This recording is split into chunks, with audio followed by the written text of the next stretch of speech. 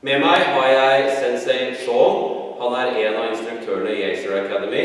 Han er også en av de elevene som har trent hos meg lengst, og en av de dyktigste elevene jeg har. Han skal nå demonstrere lavblokk i foroverstilling basic.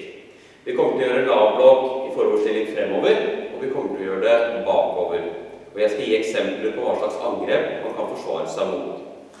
Så sensasjon står i klarstilling. Jeg går i kampstilling.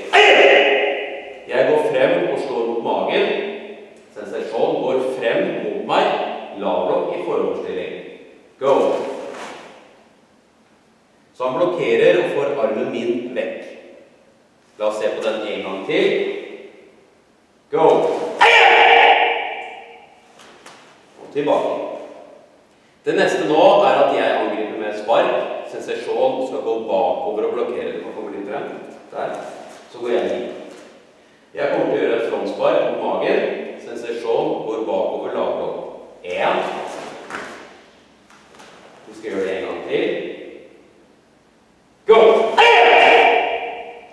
Og han får forsvart seg mot sparket også. Det er et eksempel på praktisk bruk av lavblokk i foroverstilling.